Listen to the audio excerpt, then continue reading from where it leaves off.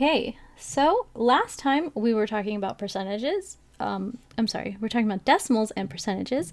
So we're in packet five. Oh, gosh, I can't keep saying the wrong thing. We were on packet four, and we're just going to finish that up. So um, last time we were talking about how to convert between a decimal and a percent. So if you want to write a percentage as a decimal, you need to move the decimal point to the left two places. If you want to write a decimal as a percent, you need to move the decimal point to the right two places. So let's look at how we can do some math with percentages. So the reason we care about converting between a percent and a decimal is because you can do math with decimals. You can't really do math with percentages. You need to convert them either to a fraction or a decimal. And right now, what we're working with are um, decimals, so let's do that. So whenever you see a problem that says find the percent of, the word of in mathematics just means like multiply, okay? So whenever you see of, that usually is going to mean multiply. So if you want 26% of 143, that means do 26% as a decimal times 143. So 26% is 0.26. Remember, you move the decimal over two places. And then times 143. And I'm just going to do that with the calculator. So 0.26 times 143 is equal to 30, 37.18. Okay. So if I want to do 37% of 500, remember of means multiply, so I first need to convert 37% to a decimal, so I move it over two places, so 0.37 times 500, so point, my mouse is all over the place, 0.37 times 500 equals 185. 185. All right. And when you have 127% of 76, the decimal point is here, so you need to move it over to right there. See? So it's 1.1.27 times 76. So, where, where my mouse out? 1.27 times 76, right? Yeah and you get 96.52. Notice when you have a percent that's less than 100, when you perform the multiplication, you get something that's smaller, and when you have a percent that's greater than 100, you get something that's bigger. So that's important to remember. Okay, let's try doing a um, let's try doing a word problem. Okay, so you're trying to buy a book that is 40% off. If the book originally cost $23, how much does it cost after the discount? Okay, so if the book was originally $23, we need to find out what 40% off of that is by first figuring out, well, what is 40% of 23? So 40% of 23, we do that by doing 0.4 times 23. Okay, so 0.4 times 23 is equal to 9.2. So that's how much we're going to save. But we're asked how much does it cost after. Okay, so this means we need to now subtract this amount from the 23. So we do 23 minus 9.2. So back over here, 23 minus 9 point, oops, let's try this again, 23 minus 9.2 is equal to 13.8. All right. Now there's actually a way to do this in a quicker one-step method. So we had to do two steps. We had to do step one, which is do 0.4 times 23 to find the 40% off. And then step two was to do um, the subtraction. Well, like if you're in a store and you're just trying to figure out, well, how much am I going to have to pay for this book? you don't want to have to do these two two steps. I mean, you probably, if you have a calculator, um, it's you know you just have like the little calculator on your phone, and it's not very easy to do like these multi-step problems with. So what I recommend doing is um, a single step method, and if you don't do it this way, it's fine. It's just a trick to make things a little easier for you. So if it's 40% off, so originally, if you were to pay the full price, right? If you're paying full price for the book, you'd be paying 100% of the cost, right? But if it's 40% off, then you're actually only paying 60% of the cost. So what we're paying is 60% of $23. So if I do 0.6 times 23, 0.6 times 23, notice I go ahead and get the final answer. Okay, so really what I was doing with, um, so let me write this in money, $13.80, 20 cent. Um, let me clean this up a little bit. $13 and that looks sorry let me just make it look nicer. Oh all of this looks gross. Okay all of it looks gross. Let me just try it again. Okay $13 and 80 cent $13 and 80 cent so what I did was I performed the subtraction but I did it like when I did this 60% one, I did 100 minus 40 and then times, um, and then times 23. So I just kind of did the order in a different way. And later when we learn more about um, multiplication and um, distributive property and stuff like that, we'll, we'll talk about how, why that works. Okay. So we'll, we'll explain this a little bit better later, but it's just a trick to help you um, do this a little bit. Um, more quickly. Okay, so how much would the book cost you in total if the tax is 7.5%? Now this is um, this is going to work a little differently where we have the tax is going to be so here's the sale price right 13.8 and I want to know what the tax is if the tax is 7.5% to find that I need to do 7.5% of 13.8. Let me put a dollar sign there too. Dollar sign. Well, actually, I don't want to put it on there. Sorry, I'm wasting time fiddling with this. Okay. So I want to find 7.5 7.5% of 13.8. So I need to move the decimal place over two places. So that's going to be 0.075 times 13.8. So I do 0.075 times 13.8. Okay, so it's equal to $1. So 1.035. Well, we can't really save one dollar and three cents and a half a cent, right? It's one dollar and three and a half cents. We can't really say that. So let's just assume that it rounds up. So I'm going to round it up. Now when you round, you usually use these two little squiggly lines to represent an equal symbol, um, a, a rounded equal symbol so it's like a squiggly equal. So I'm going to round it up to 4, so $1.04. So if I want to find what it is after tax, I need to add, let me scooch this over a little bit.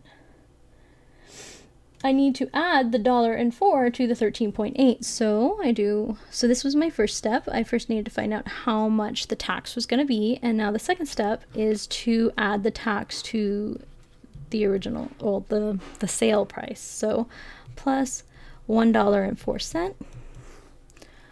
So, excuse me, 13.8 plus 1.04 is equal to 14.84. And I Didn't put my dollar sign on this one either. Scooch it. Scooch it over. Put a dollar sign. Okay. So there's also a trick for to do tax. And it involves using um, over 100 percentage.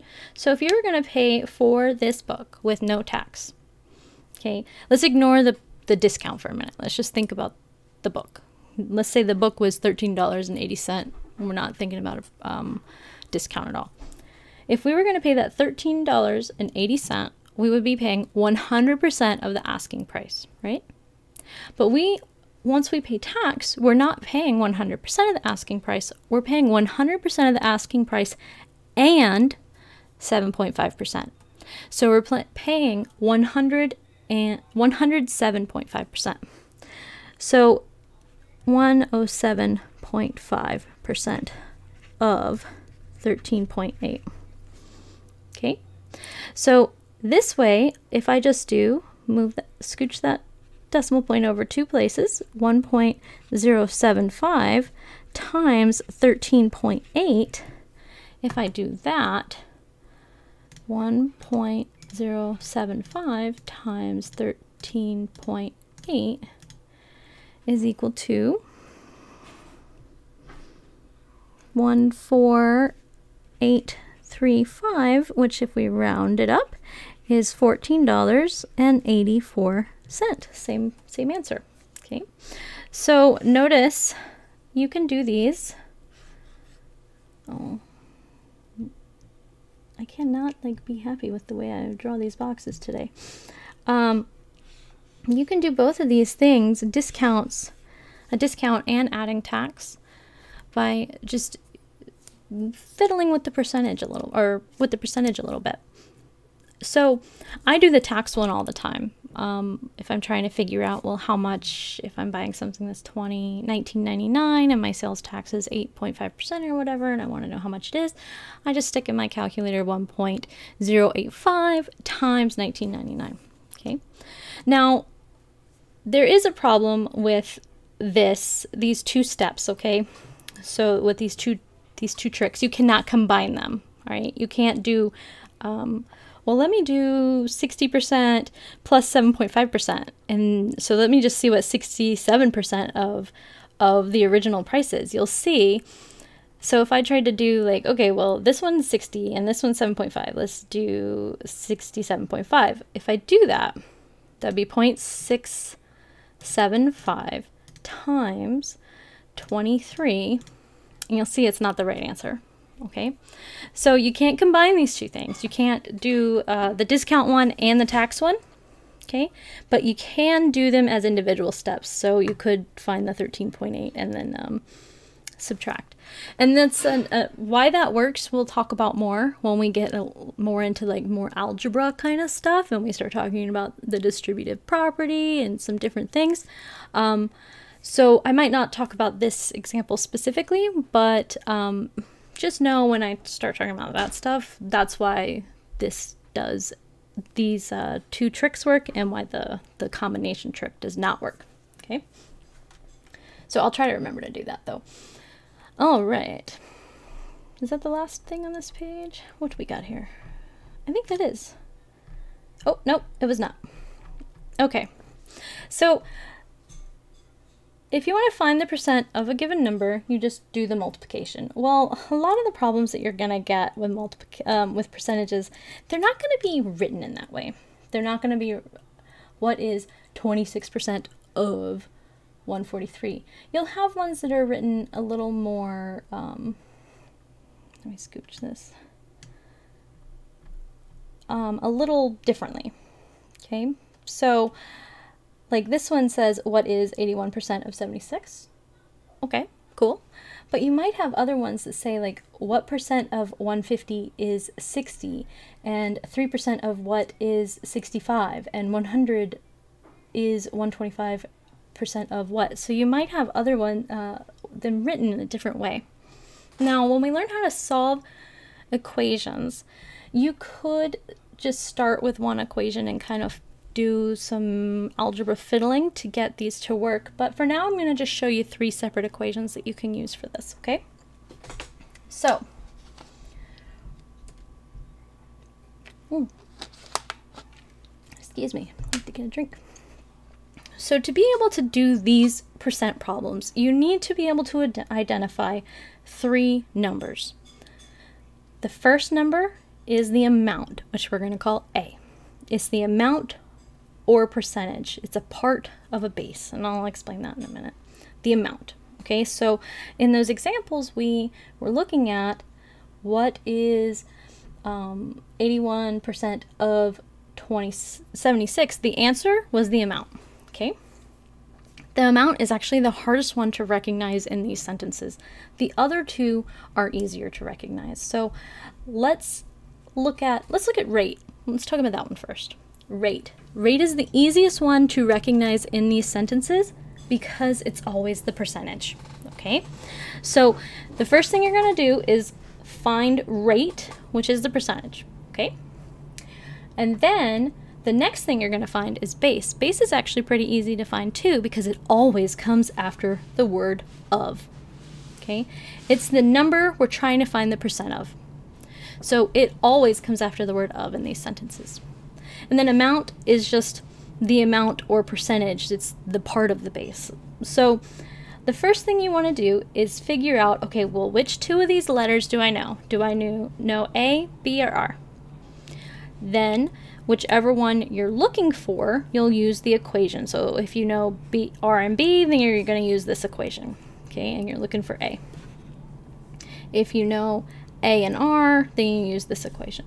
So let's just look at some examples real quick so you can see what I'm talking about. So the first thing I need to do is figure out what R is. Where's R? R is always the one with the percentage. So this one's my R, okay?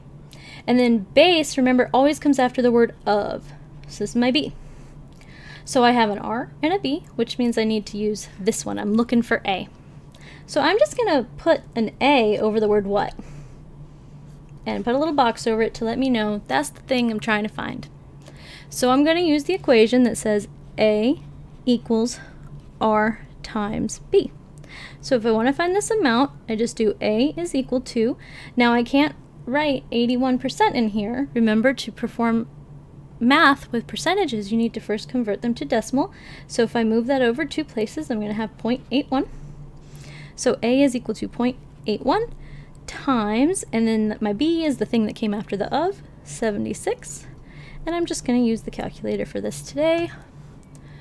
0.81 times 76 is equal to 61.5 five, six. Okay, let's try one. So this is what we were just doing, right? We were answering questions in this same way. But now we're using an equation to, to kind of set up our logic around it. Let's try doing one that's not written in this same way. What percentage of 150 is 60? Well, the first thing we're looking for is the one with the percent symbol. Well, I don't have one with a percent symbol, but notice it asks what percentage or what percent. Okay, so the thing we're looking for is R. Right? If you didn't notice that at first though, you'll see once you find the other ones. If I have of, remember B always comes after of. So this one is my B. So that's my B. And then 60, it doesn't have a percentage symbol on it, right? So it can't be my rate. So it must be my A. That's the only other choice I got. So the thing we're looking for, what percent, is B. Eh, not B. It's R. Sorry about that. The thing we're looking for is R. Okay, so R is equal to, this time we're going to use the second equation. R is equal to A over B. So I just need to do scroll down a little bit. R is equal to 60 over 150. So R is equal to 6 over 15. But let's just do, I'll just put it in the calculator the way it's done because I haven't gone over fractions yet. So 60 over 150. So R is equal to 0.4. But it didn't ask what decimal, okay? The answer is not 0.4%, right? The answer is 40% because this is the decimal version and I need to move my decimal over one two places to give me 40%. So you want to be really careful with questions like this. If they ask what um, what percentage, okay, what percent of, and then you don't want to give an answer of 0.4 because it didn't ask you for the decimal, it asked you for the percent. And you will likely, especially if you're doing this on a um, like a computer program where like it's auto auto grading for you, you will likely get it wrong. Okay. Let's try another one. 3% of what is, let me scooch this one smaller too so we can make these a little smaller, get that there. I did not leave enough, leave enough room in here. Okay, that looks a little better. Okay, 3% of what is 65.4? Okay, so the 3%, it has a percent symbol on it, right? So it's an R. The next one to look for is the base. It always comes after the word of. Well, the word what comes after the word of, so that must be the thing we're looking for, right? So this is B. That's what we're looking for. And then A is there. Now, here's the thing about A. You might notice that the word is shows up around it. The word is is usually in front of or behind A. So, um,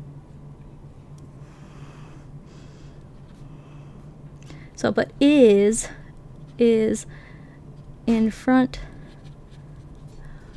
or, oops, gosh, or behind A. Okay, so the problem with that one is it kind of moves around depending on the sentence structure, but it can kind of point you in the direction of where A is going to be. It just sometimes is in the front, sometimes in, is in the back. It's not as consistent as B, where it's always after the word of. Excuse me. Okay, so 3% of what is 65.4. So this time we're looking for B, which means we're going to use this second equation up here, which says B is equal to A over R. So B, and I'll just do it big over here, is equal to A over R. So B is equal to. So um, A was 65.4 and 3%. So we need to convert this to a decimal, so it's 0.03. 0.03. So B is equal to, so 65.4 times 0.03. 1 0.962. Now this time we do not um, 3% of what is 60 that I did it wrong. Oh, I did it in multiply. So the reason I knew this was wrong is because I knew that number was B was supposed to be bigger. So, and I'll tell you why in just a second. Let's um, video entry. I did a multiplication instead of division. Here we go. That makes way more sense. Okay, 2180. Okay, so this time I don't need to convert it to a decimal or to a percentage or anything because we are we're finding B. The only time you need to worry about converting to a percentage is when you were finding R. Okay, so the reason I knew I had had to have stuck that in the calculator wrong was because when you divide by a percent, or when you divide by a decimal like this, um, you should always get something bigger than what you or the original number and i knew it had to be real big so because this 65.4 if it's going to be 3% of anything it needs to be some really big number so that's how I knew it was wrong. But division by a decimal always gives you something bigger than you started with. Okay, so let's try the next one. So 100 is 125% of what number? Okay, so we know this one's definitely R, right? Here's our of. So that means of, remember, of always comes before the B. So we're looking for B. And then of what? And so that means this one must be A. Okay, these are all squished together. I don't like how little room there is here. Maybe I should put these underneath them. I'll do that when I, um, before I convert the, these to PDF. Okay, so this time we're looking for B, which means we're going to use that second one. B is equal to A over R, which is the same one we just used. Okay, so B is equal to A over R. B is equal to, so this time A is 100. R is equal to, we need to convert that to a decimal. So converted to a decimal is 1.25. So 100 divided by 1.25 is going to be, let's see, 100 divided by 1.25, 80. All right. I think this is the last one, and then we'll move on to the next chapter or the next packet. All right, what is 102% of 87? So 102%, that's my R of comes before B, so that means 87 must be B. And what is the, th the thing we're looking for? So we must be looking for A. So we're using the original one, the one that we started out the day with. So it's A is equal to R times B.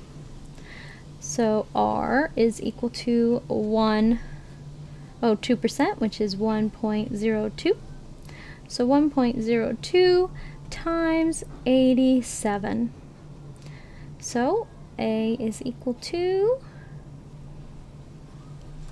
continue my A down, 1.02 times 87 is equal to 88.74. Cool. So that's it for, that's all I'm going to talk about with decimals for now. Um, I will, as always, I will um, convert this to PDF and I'll put this answer key on in the class content, which if you look at the top right corner, you'll see a QR code and a, um, a URL. That's where you can find all of the content. So this, um, the blank version of this packet as well as the answer key will be there for you. Okay, let's move on to packet 5, fractions. So it's gonna feel for a little bit like I'm just talking about some random stuff.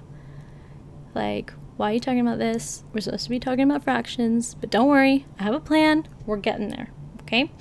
So we just talked about percentages. Percentages really remember they were fractions. So we're kind of leaning into the whole fraction thing.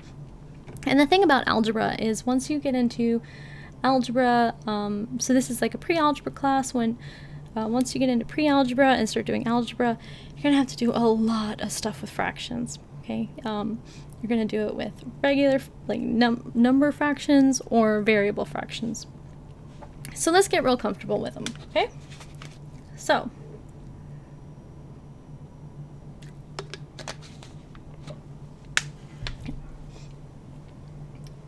like I said, I'm going to take a little detour for a second because this stuff is really important to be able to work with fractions. The first thing I want to talk about are prime and composite numbers. So in a multiplication problem, the numbers being multiplied by each other are known as factors, and the result is a product. I'm pretty sure we talked about that already. Okay, so when you have factors being multiplied by each other, they result in a product.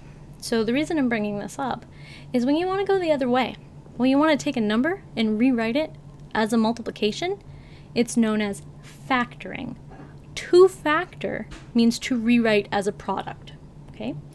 So when we start, um, when a number is written out as a product of other numbers, it's called a factorization. So for example, a factorization of 15 is equal to 3 times 5. Okay, so a factorization um, of 25 is 5 times 5. Okay? So you might also hear them um, called divisors. The, the factors are known as divisors, but we're not really to use that term here because the thing we need to know is factors because we're to use them a lot. Okay? So if I want to list um, all the factors of 14, let's say I just wanted to do that because I'm bored, right? What I want to do is write out all the different ways that I can write um, 14 as a multiplication of two numbers. Okay, so let's just think of this. So we can do 14 is 1 times 14, right? Um, 2 times 7. And then and we can't do, I'm just going to go from 1 up. So 1 times 14, 2 times something. We can't do 3 times anything to get 14. Um, we can't do 4 times anything to get 14, so forth, so forth. So the next one is 7 times 2. And then the next one is 14 times 1. Okay. Excuse me. So every unique number that we see there, 1, 2, 7, and 14, those are all the factors of 14. So 1, 2, 7, and 14. Notice um, the number itself and the number 1 are a factor, and that's going to be true for every number. Every number, 1 and itself are factors. Okay? So let's look at 20. So let's do the same thing. Well, we're going to start with 1. 1 times 20. We can do 2 times 10. It's not divisible by 3, but it is divisible by 4 because we can do 4 times 5, right? And then 5 times 4. Let me just come over here. And then 10 times 2, and then 20 times 1.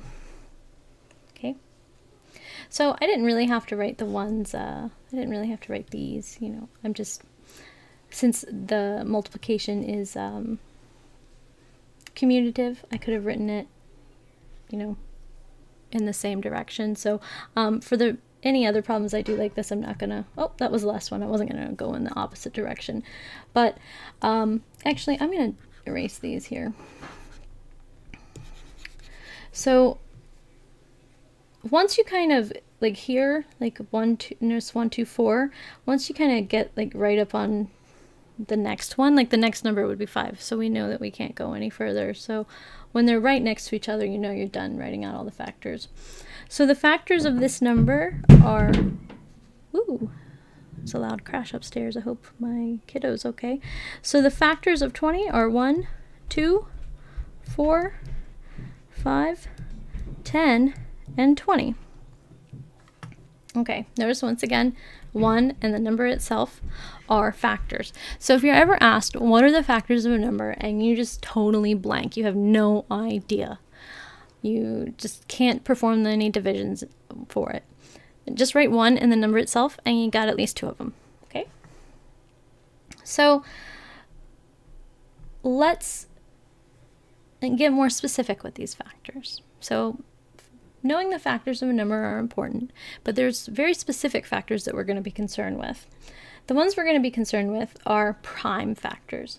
So prime numbers are all the natural numbers. Remember, natural numbers are the counting numbers. 1, 2, 3, 4, 5, and so on. So not 0. Does not include 0. Does not include negative numbers. And a prime number is a natural number greater than 1 whose only factors are 1 and itself. Okay, so a lot of people um, know what a prime number is, but they forget this part. Where my pins at? Here we go. They forget this part right here. Oh, that's not what I want. That's a. Ugh. I'm. They forget this part right here. For a number to be prime, it needs to first be greater than 1. Okay? So the list of prime numbers are 2, 3, 5, 7, 11, 13, 17, 19, 23, 29, so forth. Okay, so the reason I bring this up is a lot of people will ask, well, is 1 prime? No, it's not, because by definition, prime needs to be greater than 1. So is 1 prime? No. Oh, well, didn't ask me if it was prime. Asked me if it was prime or composite. If it's not prime, it's considered composite. Well, actually, it's neither. Sorry. Technically, it's neither. So, um, no. And then that is because it is not greater than 1. Because, see, it's not a, um, it's not, not a composite number either because it needs to be greater than 1, so it can't even be either. It's neither. Neither, or neither, however you want to say it. Same thing with 0. Is 0 prime or composite? No! Poor 0.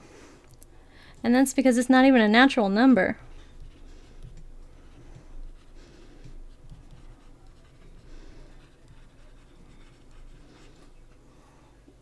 Oh, I put the answer in the spot where I was supposed to put that. I'm gonna cheat. Cheating. Doo doo. Okay. It's also neither. So, okay, so what is the only even prime number? Okay, so if you look at the list, there's the first one is even, too. Okay, so why is that even? Or I'm sorry, why is that the only um, even prime number? So remember the definition whose only factors are 1 in itself, right?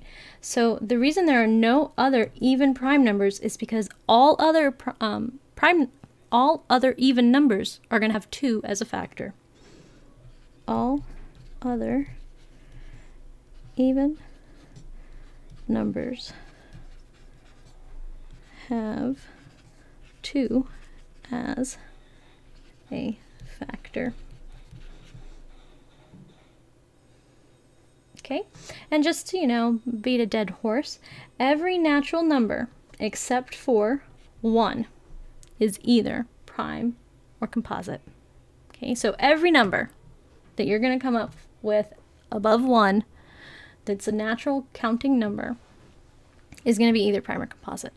So that's important because we're going to need to look at numbers and determine are they prime or not to be able to do some stuff with fractions. Okay? So when you're doing these, I recommend kind of keeping this in your back pocket, list of all prime numbers less than 100. It'll help with um, some of the stuff we're going to do. So the first thing we're going to do is um, talk about prime factorization. So when a number is written as a product of primes, that product is called its prime fact, a prime factorization. So um, what we're going to want to do is take a number and rewrite it as a factorization, but we want to make sure that factorization is a prime factorization. So let's look at the factorizations we did up here. So this one um, is not a prime factorization, and neither is that. Not, none of these are actually prime factorizations because none of these numbers, except for two, are prime. Two and five, those are prime. But the none of these products contain only prime numbers. Now this one right here, two and seven, that does contain only two prime numbers, so that is a prime factorization. So when we're doing these, what we're going to need to do is continue, well, let me go back up, sorry continue to break them down. So we would take 4 and break it into its prime factorization um, by doing some divisibility tests. So um, there are some fun divisibility tests for the number 2. So you can tell if a number is divisible by 2 if it ends in 0, 2, 4, 6, or 8. So for example, um, 2, 12. Um, 990. Those are all divisible by 2. Okay? You can tell if it's divisible by 3 if the sum of all of its digits add up to 3. Okay, so what do I mean by that? I mean something like 1, 2, 3. If you add those up, 1 plus 2 plus 3 is equal to 6. Now we know that's divisible by 3, right? Or, let's see, 3, 1, 2, 1, 1, 2. Hmm, let's see. That goes there, that goes there. 1. Did I miss that? Okay, 3. 1, 1, 2, 3, 2, 1, 1. Doo doo. Doo doo. Yeah, so I know that number is divisible by 3. I could have also done it a little more complicated and made this like a 9 or something. Eh! Wrong. Wrong one. Let's just do like a 9 and a 6, whatever. So I know that those are, um, I know that that's divisible by 3, and because I constructed it as such, because I made sure that I could group all of the numbers into um, adding up to 3. So like this adds to 3, this adds to 3, and then these add to 3. Okay. So um, it's divisible by 5 if it ends in a 0 or a 5. So like 3, 1, 2, 5, 675. Oh, let's just do 670 because it needs in a 0. So those are the first three prime numbers. So if you can recognize if something's divisible by the first three prime numbers, you're going to generally be most of the way towards your prime factorization. So let's look at this one. What is the prime factorization of 63? So I know that 63 is not divisible by 2. I'm just going to go up the list of prime numbers. I know it's not divisible by 2 because it doesn't end in a 0, a 2, a 4, a 6, or an 8. But I do know it's divisible by 3. It's divisible by 3 because 6 plus 3 is 9, and that's divisible by 3. So I know I can do it as 3 times something. So 3 times what? 3 times 21, right? Okay. And now I know I can break the 21 up further too. I can break it up into um because it's not it's not on the list of primes, right? It's not divisible by 2. So here's a hint. If up here, if that number was not divisible by 2, none of the numbers below it are going to be divisible by 2 either. So I'm going to show you two different methods. This first method of factorization is like called a tree method, where I'm breaking things up. I'm also going to do the method that I tend to do, which is um, kind of just writing it out in a list. But um, anyways, so 21, um, I know it's divisible by 3 because 2 plus 1 is 3. Hold on just a moment.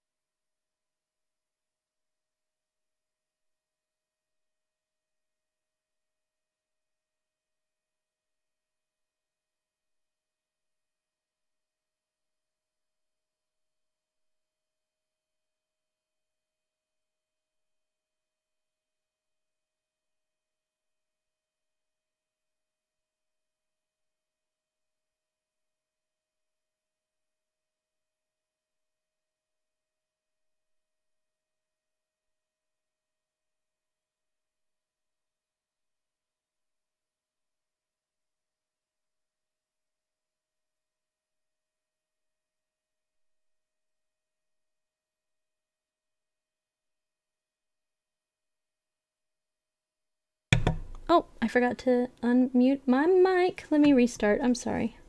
Let me go back to this one. So, uh, well, I'm sure you saw it. Let me just go keep moving. So you don't have to start with a prime number if you don't want to. Okay, you could just be like 88 is 4 times 22. And you can start with that. Um, 4 times 22. Oops. I like starting with the prime number. But if you immediately see like 4 times 22, then you can just break down each of those.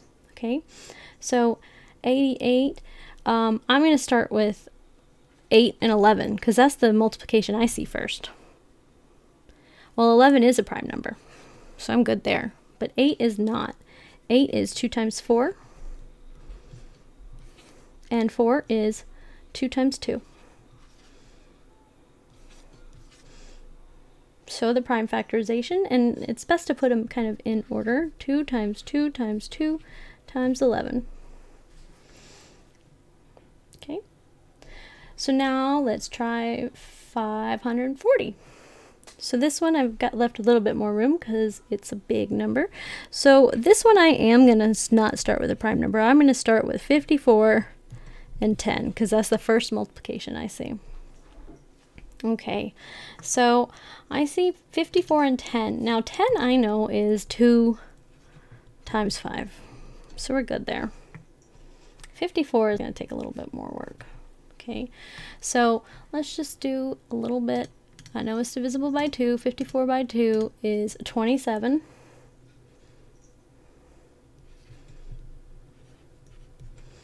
Now 27, if I do 7 plus 2, it's 3. So I know it's divisible by 3. It's 3 times what? 3 times 9. Okay, and then 9 I know is 3 times 3. Okay, this one's big. This one, this one, this one, this one, this one, and this one. So the prime factorization of this one, the way you would write it is 540 is equal to, there's two twos, 2 times 2 times, and there's one, two, three, three threes, 3 times 3 times 3 times 5. Okay. Oh gosh, this next one. 3030. So 3030. Well, I'm going to start with 10 again. Or I can do 3. I could do 3 times 1010. Yeah, let's do that. 3 times 1010. Or, sorry, 10,010. Do I got too many zeros there? 3 times 10,000, 10. Okay, so that one's prime. Okay, and I know this one's divisible by 10. Okay, so it's going to be 101. So if you do 1, 0, 0, 1, 0 divided by 10. So it's 1001, sorry. 1001 and then 10. Okay, uh, let's do this one. So 10 is 5 and 2. This one's to be a butt. Okay, so let's look at our list. So I know it's not divisible by 2. I know it's not divisible by 3. It's not divisible by 5. So the next one was 7. So let's try divided by 7. 143. Okay.